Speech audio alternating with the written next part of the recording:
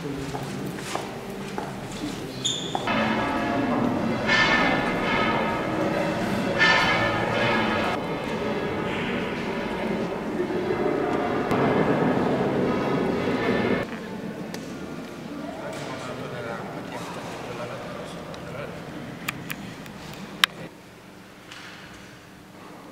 temáis, ya estoy con vosotros.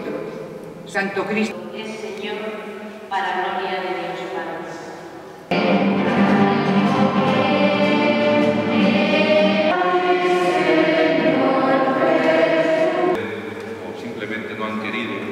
nos ha ido quitando eh, momentos, nos ha ido despojando una cultura...